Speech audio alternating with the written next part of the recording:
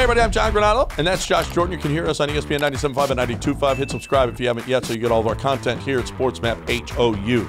Hey, Jose Abreu, he is hitting, okay? As of right now, Jose Abreu has turned his season around. He looks like the Jose Abreu of old. It couldn't come at a better time with Jordan down. No, absolutely. This is what they need right now in the middle of their lineup. And, you know, we were told from White Sox fans this guy gets hot in June.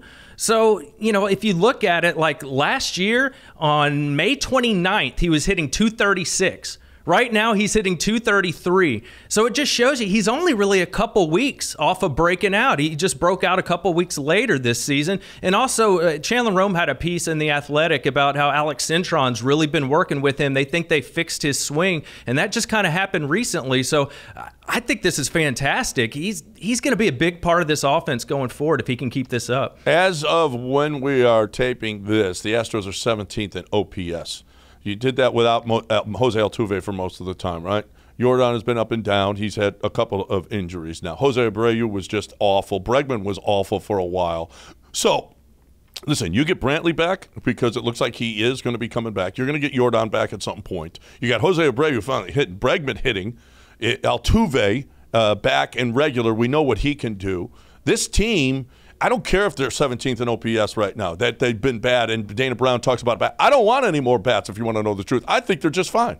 I'm actually with you here, John. I like what I'm seeing from these guys. Last year they finished seventh in OPS, and you said they're 17th now.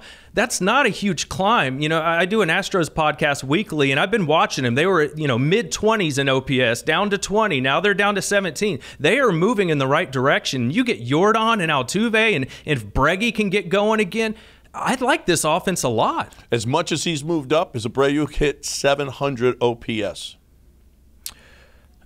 I'm not going to rule it out. If he was that bad for this beginning of the season, that means if we look at history, he's going to get white hot through June and July and August. And that's the perfect time because we're going to be a month without Jordan. They need that right now. Those home runs are starting to come. The extra base hits are starting to come.